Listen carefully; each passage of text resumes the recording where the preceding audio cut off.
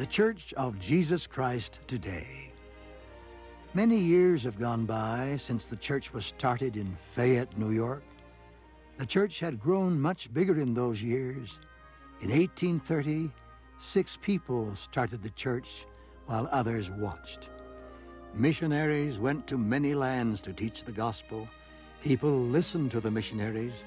They believed the gospel and joined the church. Now there are millions of members of the church. The people are very different. They live all over the world. They speak many languages. They are happy to be members of the church. On April 6th, 1980, the church had a birthday.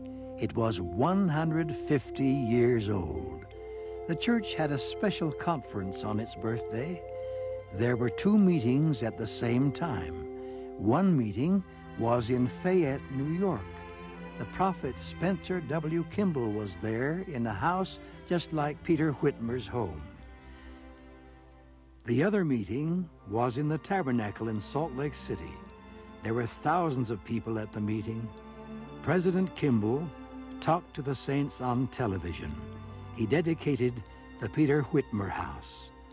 All the members of the church were very happy to see and hear the prophet. Members of the church are very blessed. We should be grateful that we are members of the Church of Jesus Christ of Latter day Saints. We have a prophet to lead us.